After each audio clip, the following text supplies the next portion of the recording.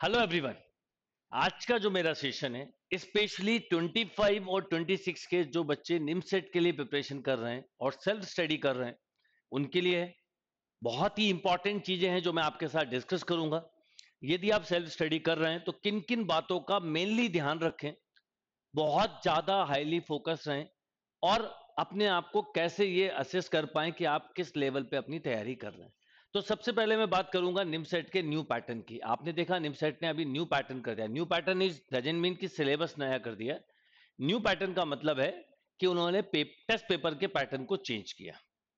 अब sectional paper कर दिया और सेक्शनल पेपर के भी टाइमिंग फिक्स कर दी। यानी आपको मैथ 70 मिनट में ही सॉल्व करना है रीजनिंग 30 मिनट में ही सॉल्व करना है कंप्यूटर और इंग्लिश को 20 मिनट में सॉल्व करना है। और थ्री सेक्शन को टाइमिंग फिक्स है, अपने आप टाइमिंग खत्म होगा और अगला सेक्शन आ जाएगा। तो ऐसे में आप लोगों को किन किन छोटी छोटी बातों का ध्यान रखना है, ये मैं बताना चाहूँगा और आप लोग इस पर अप्लाई करिए, क्योंकि अगर आप सेल्फ स्टडी कर रहे हैं और अगर आपने इन बातों पे ध्यान नहीं दिया तो लास्ट मोमेंट पे जाके आप इंप्रूवमेंट नहीं कर पाएँगे। किसी भी चीज़ के लिए अगर सही समय में एक्शन लिया जाए तो उसके हमेशा बेनिफिट होते हैं। और इम्पिटस गुरुकुल हमेशा आपके साथ है, हमेशा सपोर्ट करेगा और अभी आने वाले दिनों में आपको रेगुलर ऐसे बहुत सारे सेशन मिलेंगे, जो आपकी सेल्फ स्टडी में कहीं ना कहीं इंप्रूवमेंट भी लाएँगे और आपको हेल्प भी करेंगे। तो सबसे पहले बात करते हैं कि जो नए पैटर्न के हिसाब से देखें तो मैथ्स का जो सेक्शन है वो अब सत्तर सेवेंटी मिनट का जिसमें फिफ्टी क्वेश्चन करने अब यहाँ पर अगर हम देखें इस साल 24 के पेपर में तो कई बच्चे पैनिक हो गए और पैनिक होने की वजह से क्वेश्चंस रॉन्ग ज़्यादा हो गए। इसलिए उनको क्या करना पड़ा वो बताऊँगा। तो पैनिक हुए रॉन्ग हो गए। तो अब आपको क्या करना होगा? नंबर वन थिंग कि जो आप क्वेश्चन कर रहे हैं, थोड़ा स्लो करिए, पर एक्यूरेसी के साथ करिए। जिन बच्चों ने इस बार 25 या 25 प्लस किए, वो बच्चे इन और जिनने 30 40 45 भी किए, पर रॉन्ग ज़्यादा होने की वजह से उनके स्कोर्स डाउन हो गए। तो आपको ध्यान रखना है। तो अब आपके पास का टाइम है टोटल 70 मिनट क्वेश्चन है 50 अगर हम पर क्वेश्चन टू मिनट भी दें तो 35 क्वेश्चन होंगे।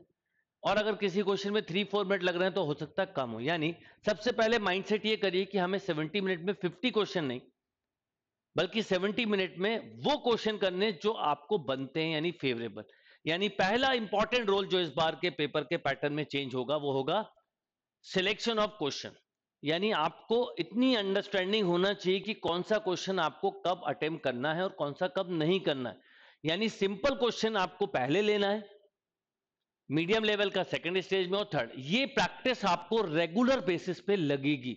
यदि आप सोचते हैं कि मैं केवल पूरा सिलेबस खत्म कर लूँ और बाद में टेस्टिंग करूँ तो आप ये वाली एक्यूरेसी को मना ही नहीं सकते। यानी आपको अभी से मैथ्स की इस लेवल पे प्रैक्टिस करनी पड़ेगी और तीनों जोन के क्वेश्चंस की प्रैक्टिस और अंडरस्टैंडिंग बढ़ानी पड़ेगी। कोई क्वेश्चन रॉन्ग होता है तो वो रॉन्ग क्यों हुआ उसको असिस्ट करना और वैसे क्वेश्चन दोबारा रॉन्ग ना हो, इस पे भी तैयारी करनी है। क्योंकि अगर आपने इस बात पे समय रहते हुए ध्यान दिया 25 वाले बच्चों के पास भी सफिशियंट टाइम है और 26 वालों के पास तो और ज़्यादा टाइम है बट टाइम कितनी तेज़ी से निकलता हम देखते हैं, हमें, हम सोचते हैं और हमें पता भी नहीं चलता। तो आपको सबसे पहला काम ये करना है कि मैथ्स की प्रैक्टिस बहुत स्ट्रांग लेवल पे करनी है। दूसरा, जब बच्चे ये बोलते हैं कि, सर, किस टॉपिक का ज़्यादा वेटेज है? मैं हमेशा बोलता हूँ, ऐसा कोई रूल नहीं है। कभी भी किसी टॉपिक का वेटेज कम ज़्यादा हो जाता है जैसे इस बार बच्चों ने कैलकुलस काफ़ी करी, पर कैलकुलस के क्वेश्चन कम आए। ऐसा हो सकता है। इसलिए मैं आपको बोलूँगा इंटायर सिलेबस में किसी भी टॉपिक के अप डाउन होते हैं। दूसरा वेक्टर के क्वेश्चन थोड़े से फिजिक्स पे बेस्ड आए। इस डजेंट मीन कि आप वेक्टर फिजिक्स बेस्ड पढ़ने लगे। Every year two three question ऐसे आते हैं जो कि लीक से हटके होते हैं। उनके लिए परेशान नहीं होना है। फोकस हमेशा सिलेबस पे रखना है। हाँ सपोर्टिंग टॉपिक करना चाहिए like exponential series log series complex number binomial theorem ये सपोर्टिंग टॉपिक्स हैं करना है। तो आपको नंबर वन थिंग हुई कि पहले तो मैथ्स की अंडरस्टैंडिंग लेवल को डेवलप करना है। पेपर इस साल का टफ नहीं था, बल्कि सिंपल था और बेसिक लेवल का था, इसका मतलब और पीछे जाना है। तो अगर आपकी मैथ्स अच्छी नहीं है तो माय पर्सनल सजेशन कि आप नाइन टेंथ की भी मैथ सॉल्व करें, जैसे मैं अभी अभी क्लास में उतने ही पीछे से जा रहा हूँ। मैंने अभी जो नया बैच स्टार्ट किया उसमें सबसे पहले चेंज किया कि अब और बेसिक से पढ़ना है। एक्यूरेसी लेवल को हाई करना है। अगर कोई क्वेश्चन रॉन्ग हो रहा है तो आप उस तरह के रॉन्ग क्वेश्चन जो आपसे हुआ, ऐसे थ्री फोर क्वेश्चन की तुरंत प्रैक्टिस करिए, क्योंकि अब नया पैटर्न ये कहता है कि सिलेक्शन उन बच्चों के ज़्यादा होंगे जिनकी एक्यूरेसी लेवल हाई उनके ज़्यादा होंगे जिनको सिलेक्शन ऑफ़ क्वेश्चन आता है। उन बच्चों के सिलेक्शन के चांसेस ज़्यादा हैं, जो कि अंडरस्टैंडिंग लेवल जिनका मैथ्स का अच्छा है। तो आपको इस पे वर्क करना। तो सबसे पहले आप लोगों को बेस बुक पे काम करना चाहिए। तो नाइन्थ टेंथ की एनसीईआरटी सॉल्व करिए। इलेवन ट्वेल्थ की एनसीईआरटी या आर डी शर्मा की सब्जेक्टिव बुक कर सकते हैं। एरएलएस की बुक सॉल्व कर सकते हैं। नो इशू बट बट जो भी करें कंप्लीट करें और थ्री फोर टाइम करें। ज़्यादा गाइड सॉल्व करने से कई गुना अच्छा है कि एक ही को करें।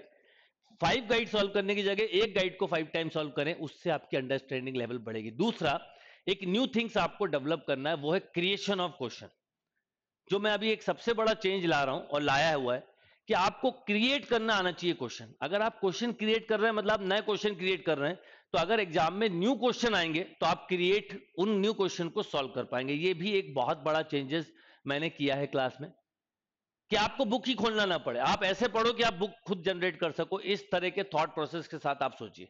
तो आप इस बात का ध्यान रखिए कि आपको ये एक चीज़ ज़रूर करनी चाहिए. तो क्रिएट करना आना चाहिए। मतलब आपका कंसेप्ट थ्योरी इतनी स्ट्रांग हो कि आप न्यू क्वेश्चन भी क्रिएट कर सकें, जिससे न्यू क्वेश्चन की सॉल्विंग अप्रोच आपकी डेवलप हो। ये काम आपको मैथ्स में करना चाहिए। बहुत इंपॉर्टेंट है। अगर आप मैथ्स को, और मैथ्स को इसलिए भी मत पढ़िए कि नंबर आ जाए।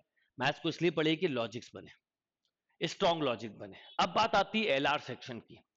एलआर और कॉन्ट को लेके आप लोग बहुत कंफ्यूज होते हैं। सबसे पहले तो क्वांटिटी एप्टीट्यूड का पोर्शन कम आता है, पर क्वांट मतलब मैथमेटिक्स का एक बेस पार्ट होता है। और लॉजिकल रीजनिंग भी मैथमेटिकल पोर्शन का ही एक बेस पार्ट होता है। आपको इस बार साइमेंटेसली इसको भी प्रैक्टिस करनी है। इसलिए इम्पिटस गुरुकुल ने इमीडिएटली एक्शन लेते हुए अभी से एवरी संडे मैथ्स के साथ साथ एल का टेस्ट भी इंक्लूड कर दिया। क्योंकि अगर आपने एलआर को नहीं पढ़ा तो एलआर के सेक्शन में आप मैथ्स नहीं कर सकते जैसे लास्ट ईयर तक कर सकते थे। तो अब आप क्या करोगे? तो एलआर के समय एलआर और कॉन्ट या कॉन्ट के क्वेश्चन जो है वही करना है। तो उनकी स्पीड सीखनी है। तो आपको वो एलआर के टॉपिक्स की प्रैक्टिस करनी है। अगर आप सेल्फ स्टडी कर रहे हैं तो अभी से करिए उनकी। एटलीस्ट थर्टी मिनट से वन आवर आपको एलआर को देना चाहिए। Three two four hour maths को देना चाहिए। कंप्यूटर के लिए क्या करने वाला हूँ, वो भी बता रहा हूँ। तो ये बात ध्यान रखिए। तो इम्पिटस गुरुकुल ने तुरंत ये चीज़ एक्शन में लेके अभी नए बैच में इंप्लीमेंट कर दी। और कंसेप्ट बिल्डिंग टेस्ट के नाम से मैंने टेस्टिंग स्टार्ट भी कर दी। कंसेप्ट बिल्डिंग टेस्ट में मैथ्स के बेसिक रीजनिंग के क्वेश्चन कॉन्ट के बेसिक लेवल के क्वेश्चन है और धीरे धीरे इनका लेवल बढ़ाना है। क्योंकि जब 30 मिनट आपको एलआर में मिले तो आप एलआर में भी बेस्ट परफॉर्मेंस दे पाए। क्योंकि अब हर सेक्शन को मिला के नेट स्कोर से ही आपकी रैंक बनने वाली है।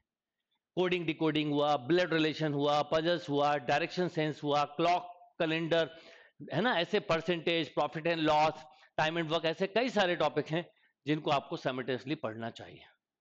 एंड अब बात करते हैं कंप्यूटर एंड इंग्लिश की। कंप्यूटर में ट्वेंटी क्वेश्चन आएँगे, वो भी अटेम्प्ट करना है।